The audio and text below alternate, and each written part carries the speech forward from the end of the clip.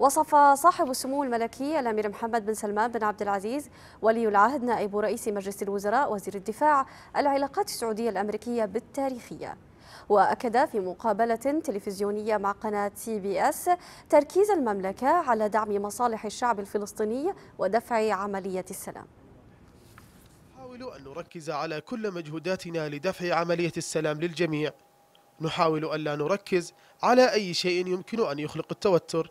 فمن طبيعتي دائما أن أكون إيجابيا. لذا أحاول أن أركز على الأشياء التي تدعم مصالح الشعب الفلسطيني ومصلحة الجميع.